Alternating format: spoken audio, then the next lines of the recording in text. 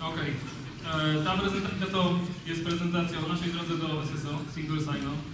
Podkreślam, że o drodze, a nie o samym SSO, bo gdybyśmy mówili tylko o SSO, to by było 5 minut. E, Trochę powiemy Wam e, nie tylko o SSO, ale też o naszej firmie, ale tylko w kontekście tego, czego potrzebujecie, aby zrozumieć skąd to się wzięło, dlaczego zdecydowaliśmy się na implementację tego rozwiązania u nas. To na początku trochę o nas. Ja jestem Maciek i od półtora roku jestem znanym lekarzem.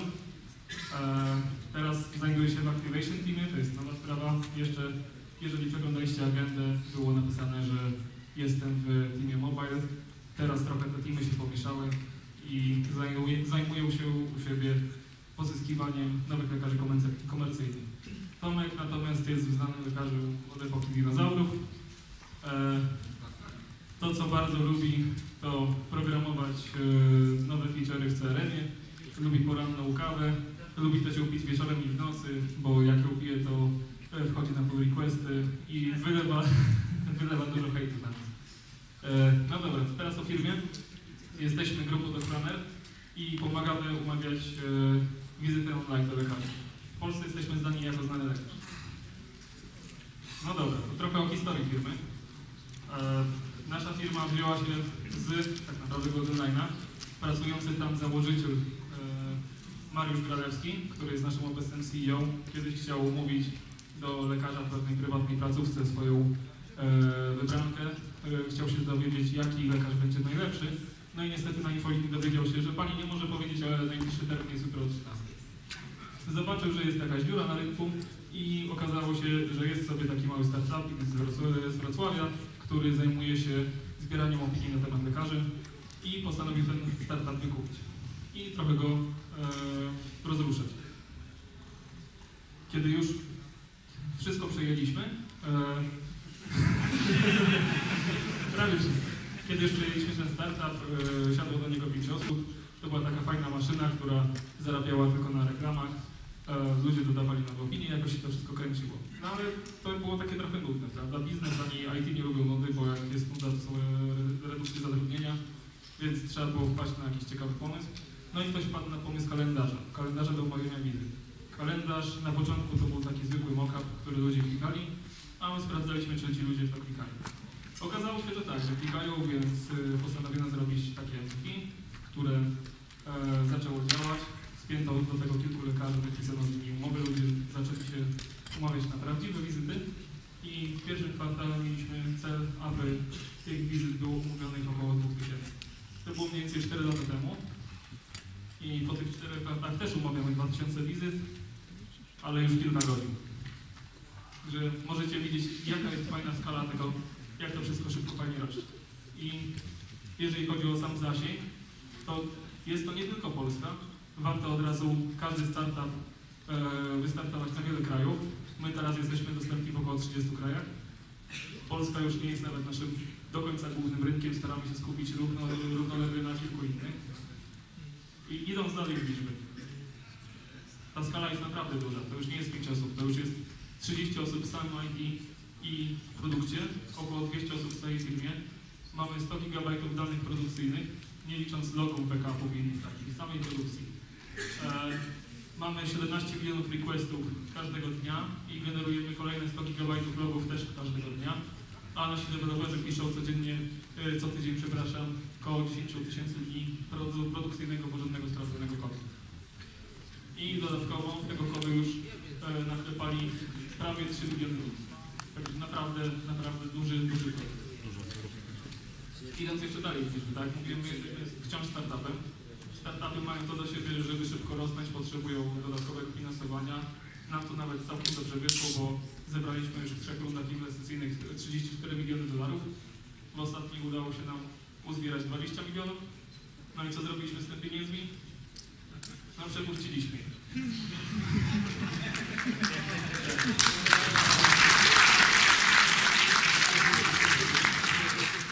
Ale nie przepuściliśmy tego na zabawę ani na lasery, tylko przepuściliśmy.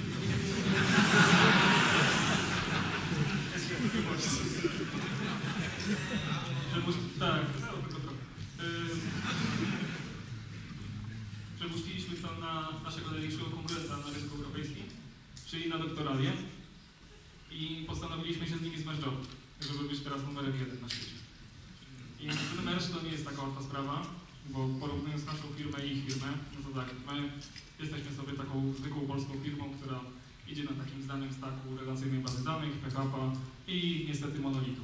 W doktorali hiszpańskiej natomiast ludzie postanowili być bardziej hipsterami, pracują głównie na danych nierelacyjnych, od razu pisali coś sobie w C-Sharpie i mm, wyszli z monolitu, udało im się to nawet całkiem fajnie e, porozwijać.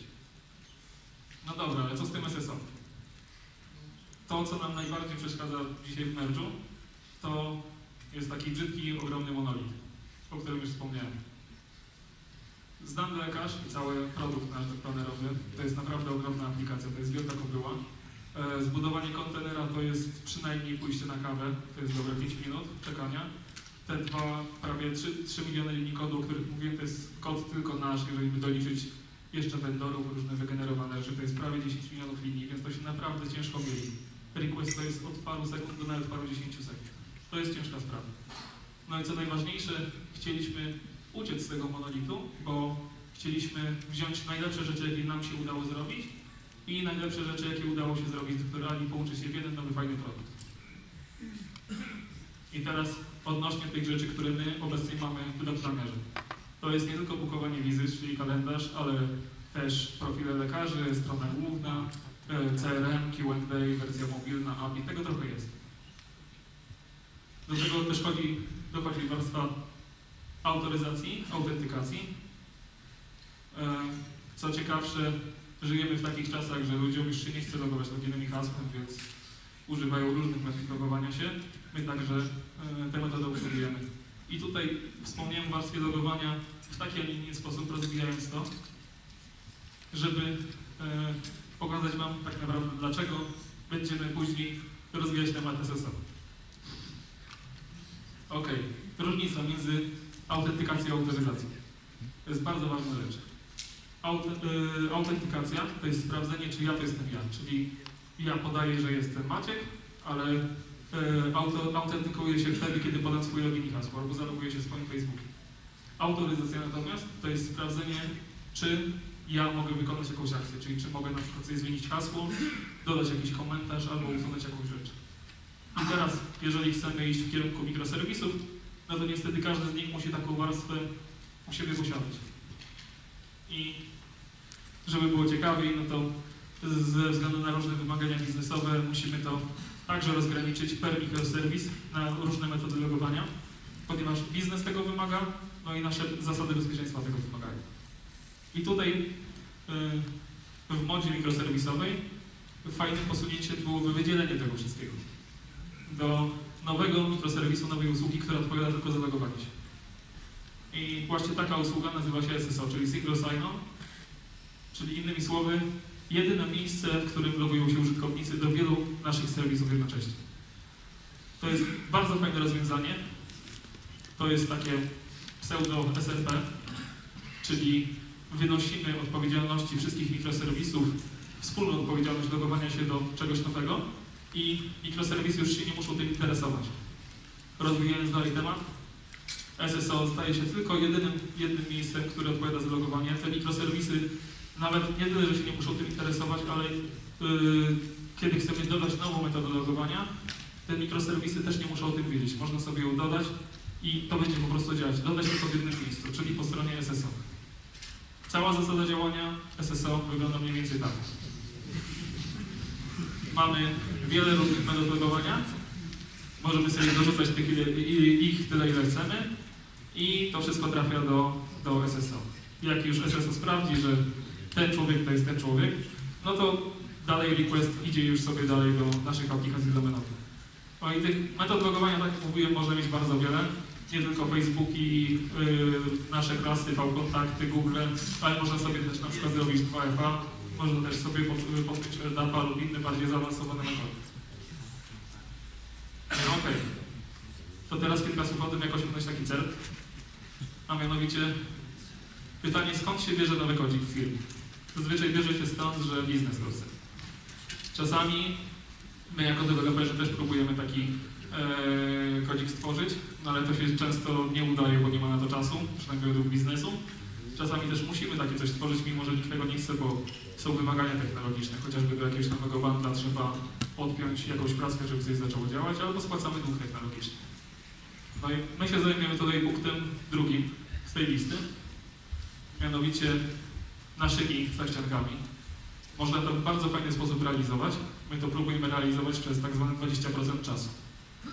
E, u nas jest taka zasada i taka zasada jest e, w wielu, coraz większej ilości firm, że 20% czasu programista może poświęcić na robienie tego, co chce.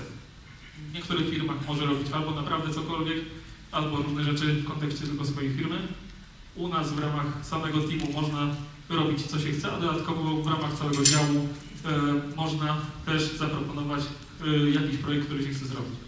U nas się to nazywa Challenge Week i wygląda to mniej więcej tak, że e, jak już jest taka lista propozycji, głosujemy sobie na to, co chcemy robić.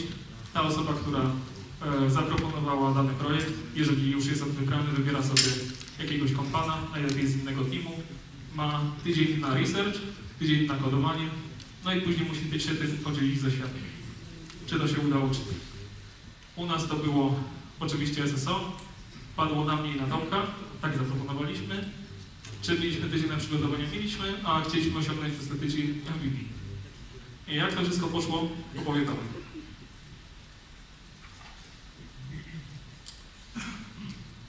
Dzięki Maczku. Że ciepło tutaj trochę. E, dobra, jeżeli e, chodzi o implementację teraz troszeczkę tego rozwiązania, e, nie będziemy się skupiać troszeczkę na kodziku, bo to nie o to chodzi. Wszyscy tutaj praktycznie e, jesteśmy deweloperami i potrafimy sobie spłodzić przede wszystkim e, musieliśmy wpaść na to, jak to ma działać. I tutaj skorzystaliśmy sobie z takiej procedury Fordek. Fordek to jest taka procedurka używana między innymi przez pilotów. Taka ciekawostka. E, służy do podejmowania decyzji, do um, usystematyzowania, uschematyzowania podejmowania tych, decyzji. E, no i jako, że działa to tam na górze bezbłędnie, pomyśleliśmy, że zadziała też i u nas. E, pierwszą rzeczą, jeżeli chodzi o, e, o tą procedurkę, jest zebranie faktów. No i tutaj faktem oczywiście było to, że chcemy mieć mikroserwisy, to tak bardzo mocno. E, I to, że to logowanie no, zawsze musi działać, niezależnie czy to jest logowanie w przypadku API, czy to integracji z innymi serwisami naszymi, e, czy też e, aplikacji SPA, czyli na przykład React, Angular i tak dalej. Musieliśmy też zaprojektować logowanie bezpośrednio z aplikacji typu JavaScript. E, No i trzeba to było uzyskać w jakiś spójny sposób. E, Mieliśmy również e, logowanie Facebookiem, swego czasu nawet Googlem. Wewnątrz firmy mamy również logowanie po LDAP-ie, więc to wszystko trzeba było mimo wszystko spiąć w jedną całość. No i mieliśmy na to tydzień. Postanowiliśmy sobie oczywiście wyznaczyć jakieś MVP, co trzeba na początku dowieść, co trzeba później dowieść, tak żeby wdrożyć to po, po tym tygodniu, a ewentualnie dopieszczać dalej. E, Drugim krokiem tej procedury jest zebranie opcji, czyli możliwości e, rozwiązań. E, No i pierwszym rozwiązaniem, jakie podrzucił akurat nasz kolega, było szerowanie sesji. Troszeczkę głupie, ale było, trzeba było zapisać, tak? E, Od razu żeśmy odrzucili, ale. E, Drugim, drugim możliwym rozwiązaniem było kupienie, kupienie gotowca, czyli jakiegoś SaaS-u, jakiejś usługi, która wykona to za nas, e, z którą będziemy się po prostu mogli zintegrować. E, Padł też pomysł, że równie dobrze taką usługę można kupić, ale zainstalować ją u nas, dzięki czemu e, mieć, e, mogliśmy mieć większe bezpieczeństwo danych, żeby te dane nie wychodziły gdzieś do zewnętrznych serwisów e, poprzez internet, albo równie dobrze mogliśmy napisać to sami. E, Trzeba było rozważyć wszystkie za i przeciw. Jeżeli chodzi o ASAS, mniej więcej wypisaliśmy sobie takie wady i zalety. Po pierwsze, największą wadą jest, największą zaletą, przepraszam, jest to, że praktycznie mamy od razu na dzień dobry załatwioną jaką część pracy. Wystarczy się zintegrować i prawdopodobnie e, będzie to działać od razu na box. Natomiast jeżeli chodzi o wady, e, dana usługa może sporo nas kosztować przede wszystkim. E, często jest to jakaś ilość dolarów czy złotówek powiedzmy e, za użytkownika miesięcznie. No, w przypadku większej liczby użytkowników no, robią się pieniądze. E, Poza tym mogą być jakieś e, limity wprowadzane na przykład na ilość requestów, czy jakieś limity technologiczne. No i to nam się nie za bardzo podobało. To by nas mogło ograniczyć w, jakieś, w jakimś stopniu również taka usługa może się z dnia na dzień tak naprawdę zawinąć, mówiąc wprost. Przykład, przykładowo korzystaliśmy z takiej usługi Expertio, no i niestety zawinęli się z linku, musieliśmy przejść na inną, ale to zajmuje czas, trzeba ten czas znaleźć. Nie zawsze e, ad hocowo można taki czas znaleźć, no i pojawia się problem downtime'u, jeżeli chodzi o jakąś tam funkcjonalność. E, więc zaczęliśmy rozważać nasze autorskie rozwiązanie. No i oczywiście tutaj znamy technologię, wiemy jak to napisać, e, wiemy jakie są zalety danej technologii, wiemy z czego skorzystać mniej więcej, jakich bundli użyć powiedzmy.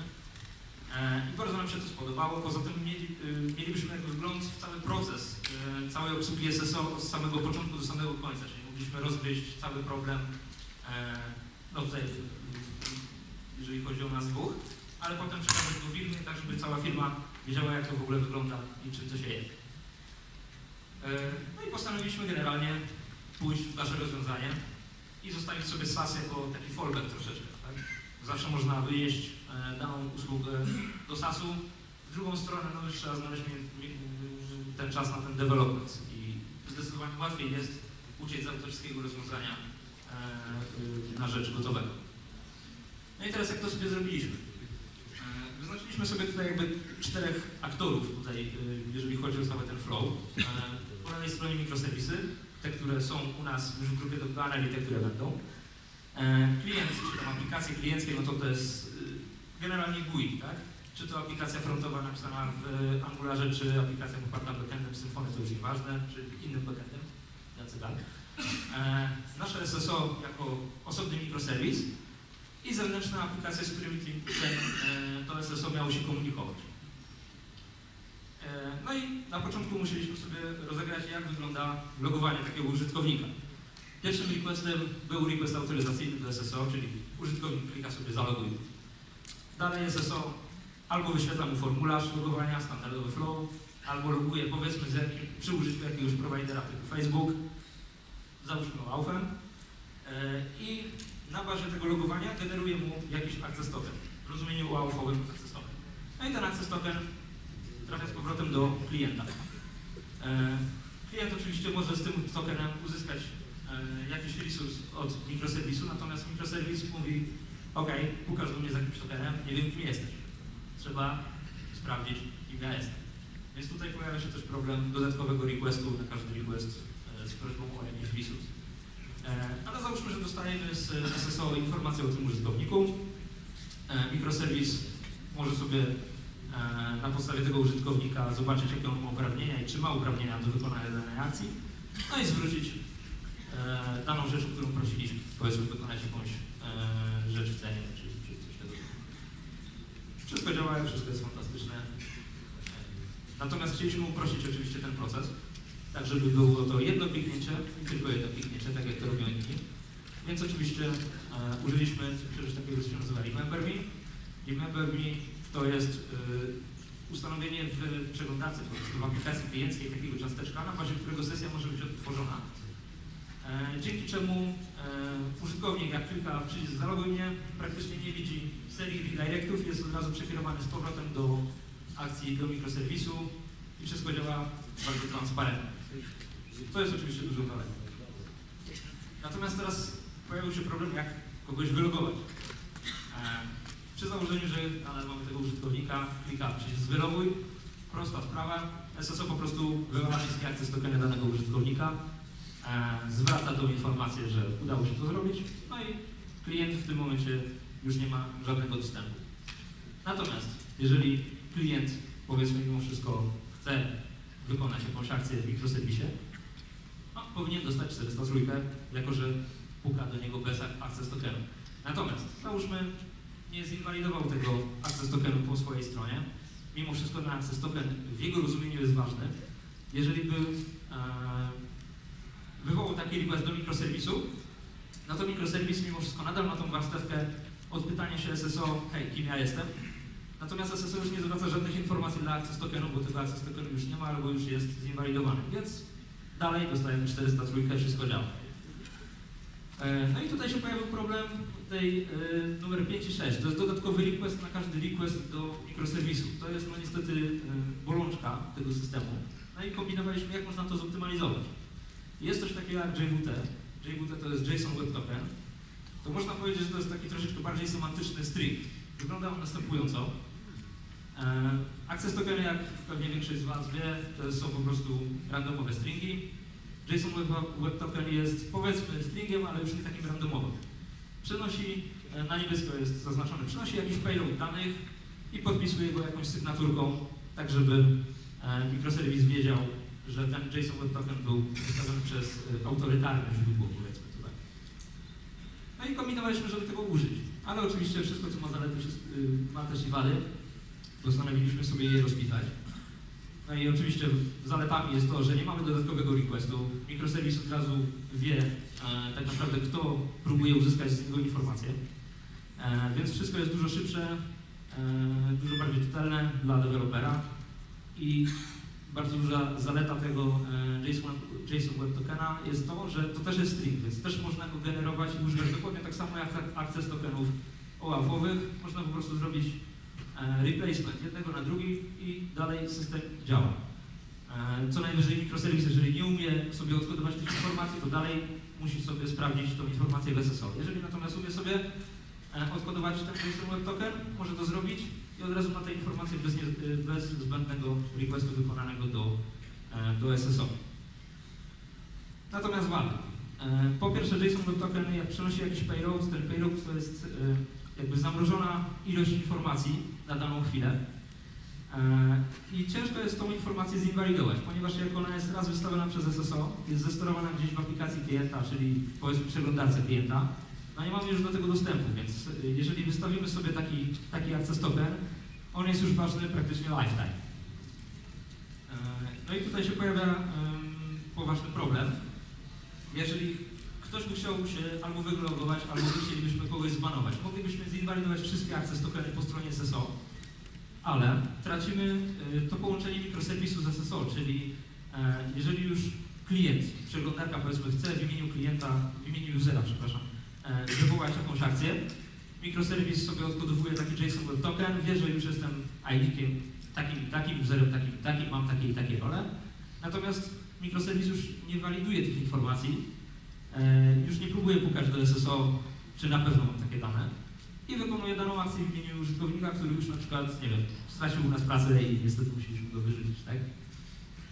Więc to jest, to jest dosyć duży, duży problem i dlatego nie poszliśmy w to rozwiązanie. Zostaliśmy na akcję tokena, które daje dużo większe możliwości.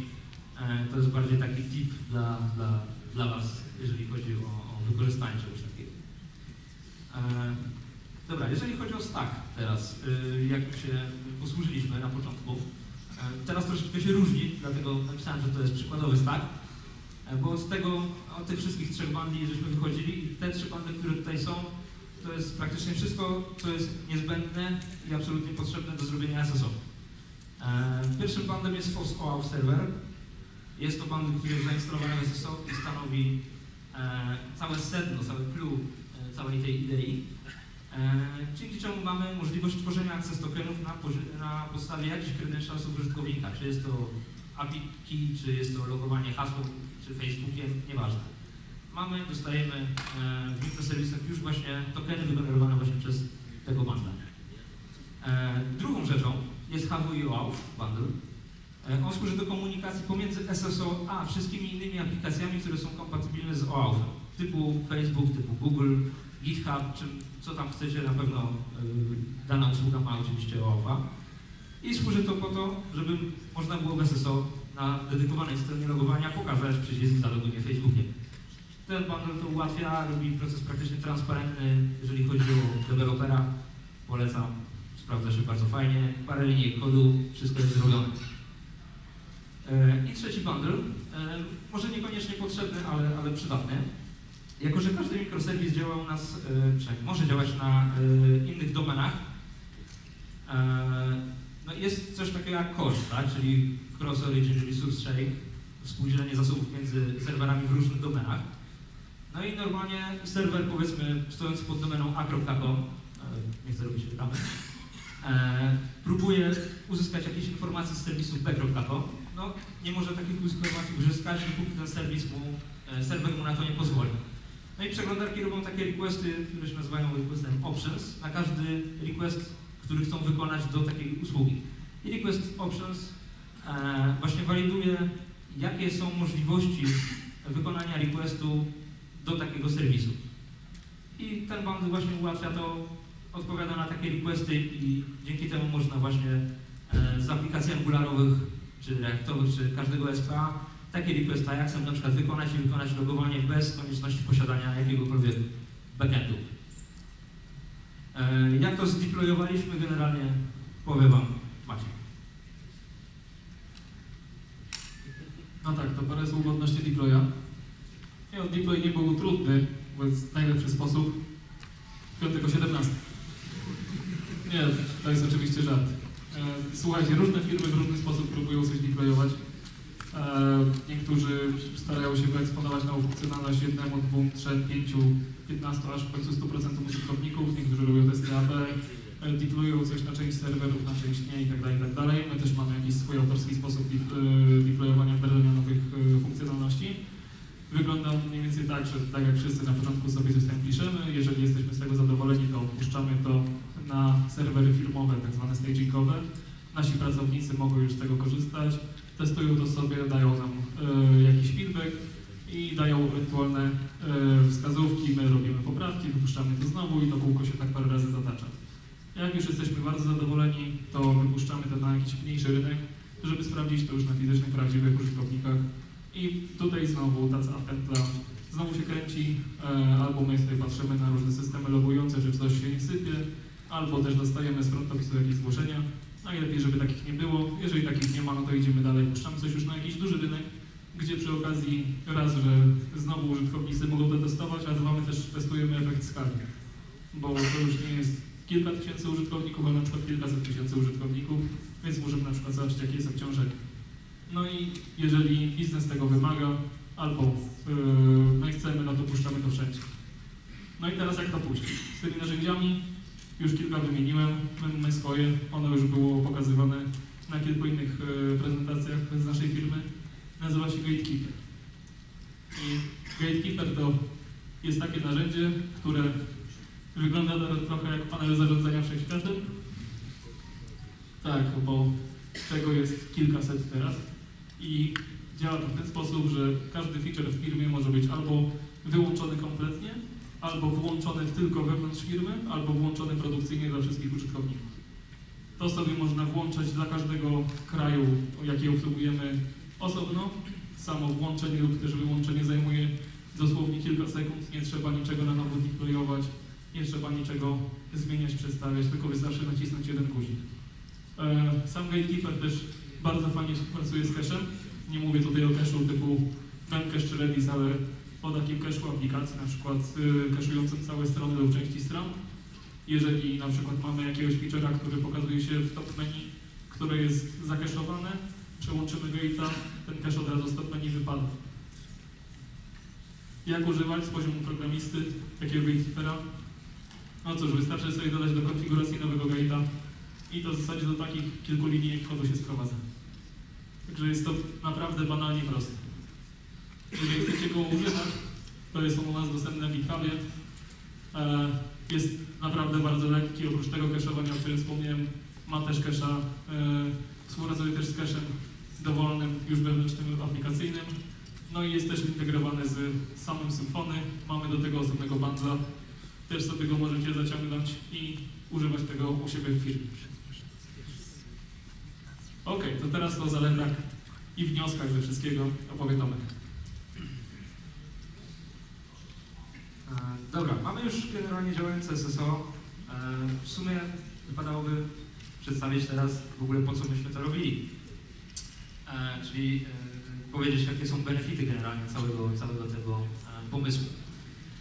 Jeżeli chodzi o benefity, najważniejszym jest user experience i to, że użytkownik potrafi się zalogować do wszystkich mikroserwisów, niezależnie co mamy i co będziemy mieć, e, jednym kontem z jednego miejsca.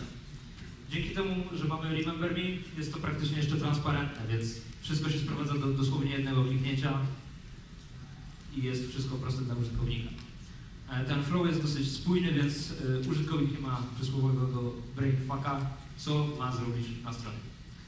E, Jeżeli chodzi o e, logowanie też e, powiedzmy Facebookiem, E, Wcześniej mieliśmy tak, że do mikroserwisów, do jednego mikroserwisu mogliśmy wpuszczać użytkowników z Facebooka, do innego mikroserwisu powiedzmy wewnętrznego jakiegoś panelu administracyjnego umożliwialiśmy logowanie do e, mikroserwisu LDAP. W tym momencie mamy to wszystko w jednym miejscu e, i na przykład pracownicy też mogą zalogować się do wewnętrznych części serwisu, czy to Facebookiem, czy LDAP-em, czym chcą, to już jest ich dowolność. Oczywiście możemy tym sterować, czy to gatekeeperem, czy mechanizmem, natomiast jest taka możliwość, włączenie czegoś takiego to jest kwestia jednego kliknięcia dla nas, więc dla nas też to jest dużo, dużo lepsze. Więc wszyscy są generalnie szczęśliwi. E, Jeżeli chodzi o bezpieczeństwo danych, e, jako że dane użytkowników trzymamy w jednym systemie, no jest to automatycznie dużo bezpieczniejsze niż rozsianie tego wszystkiego po bazach danych każdego mikroserwisu. E, Z punktu widzenia deweloperskiego jest to również bezpieczne, e, jeżeli nie chcemy dawać innym deweloperom na przykład wjazdów do takiego mechanizmu, tylko chcemy e, jakby odseparować ich. Jeżeli robią swój mikroserwis i nie chcemy im dawać wjazdów do innych e, do danych użytkowników, nie musimy tego robić. Wystarczy ich nauczyć, jak się z tym mikroserwisem porozumiewać i jak z niego korzystać, czyli dać im przysłowiowe SDK i go. Jeżeli chodzi teraz o developer experience, oczywiście no, dla nas było to bardzo fajne. E, I tak jak mówię, osobne repozytorium kodu, e, ścisłe e, zalety wynikające z tego, że wpuszczamy tam tylko ludzi, których chcemy wpuszczać. Reszta się po prostu integruje, także nie mamy tutaj żadnego, żadnego problemu, jeżeli chodzi o bezpieczeństwo danych. I to, co chcieliśmy w sumie Wam przekazać na tej presce, to jest to, że 20% działa. Krótko powiedziawszy działa. E, nieważne jaka jest implementacja tego w Waszych firmach, e, często nie ma czasu czegoś robić, a często ludzie mają po prostu dużo pomysłów, natomiast nie mają czasu od produktu, czy od innych użytkowników, e, czy od innych pracowników, czy od góry, krótko mówiąc. Więc polecamy taką, taką ideę. Bardzo fajnie się u nas to sprawdza, już takich projektów nie musimy przepychać, a tą metodą zrobiliśmy już ich naprawdę X, dosłownie X. To by było tyle od nas. Mam nadzieję, że nie przywiązaliśmy za mocno. E, Chociaż trochę nadal wrócę. E, Jeżeli chcecie, e, mamy ofertę pracy. Zapraszamy do nas. E, Mam nadzieję, że się podobało. E, Jeżeli są jakieś pytania, to bardzo prosimy, ale nie trudne. I postaramy się odpowiedzieć na pytania.